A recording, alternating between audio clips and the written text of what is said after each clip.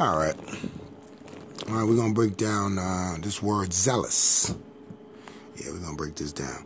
Now, it's funny because zealous has two different meanings in the Bible. And it was changed by man. But um, let's try this biblical expression, and um, we're going to begin with uh, emotion deep, passionate commitment with God's devotion, with truth and accuracy led by God's law.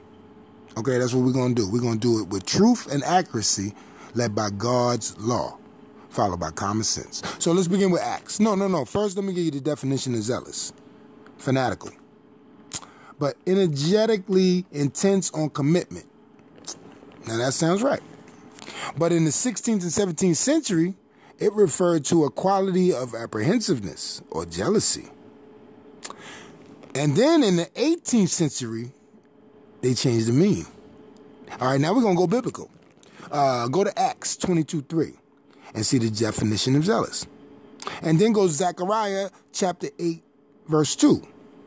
Contradiction. Here goes Zechariah uh, 8 2. The Lord was jealous of Zion. Why is God jealous? Ain't that a sin? Hmm. A great jealousy for her with great flurry. Why does God always have to be mean? And why give different meaning to zealous? Open to John chapter 4, verse 24. God is spirit. You hear me? God is spirit, not booklet, not pamphlet. And those who praise him, you got to come in truth. Go to 2 Samuel 23 2. The Spirit of the Lord spoke to me and put these words in my tongue. So I flipped to Revelations chapter 15, verse 5. I did what I was told. The temple of the tabernacle for testimony in heaven is open, and I'm coming in. And the strength of God will rest on my vocals. You hear me? So I mix it with wisdom and understanding.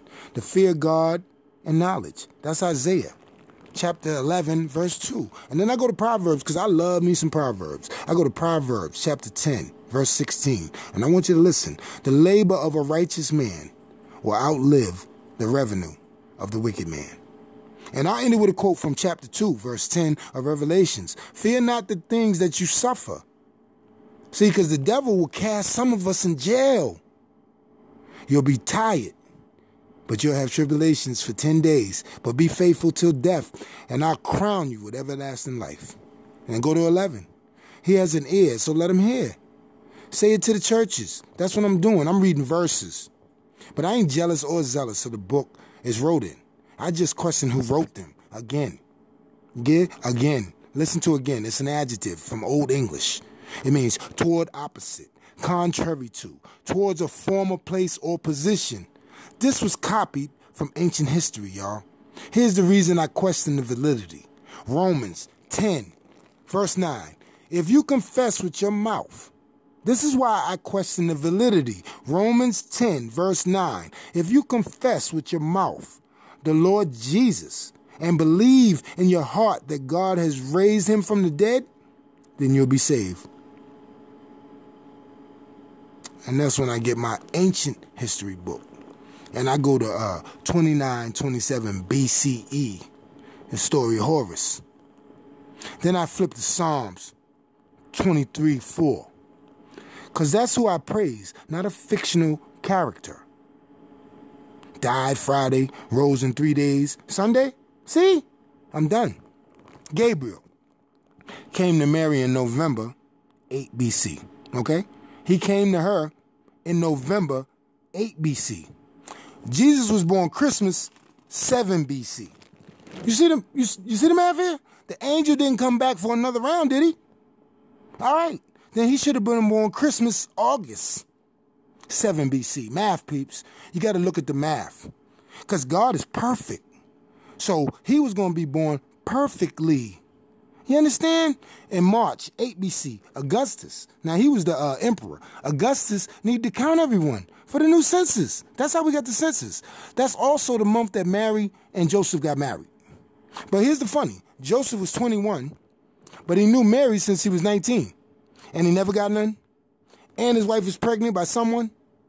Now listen to Jesus' siblings: a perpetual virgin. Mark chapter 6 3. Okay? His his siblings are James, Josie, Judah, and Simon. And James was younger than Jesus. So Joseph cheated on Mary? Because those ain't her children. See the Tampa? That's why um, that's why my belief in these books damper. Cause I know they ain't true. they just ain't true. Still beautiful, poetic read though.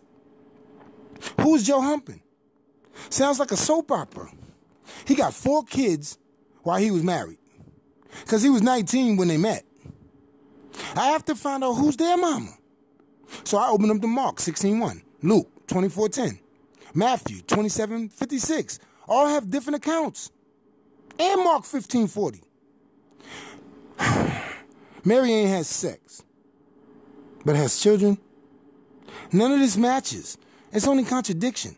From Genesis to Revelation, from in the beginning to war to the apocalyptic. Adam, Eve, Job, Jesus, and a couple more born perfect. Well, that takes from the essence of importance imperfect. If everyone is doing it, you know, perfect rising from the dead, having babies with no sex. The evilness of the text leaves me vexed. And all I want to do is praise the head, not the non relevant for a sin. Peace. CreationBey.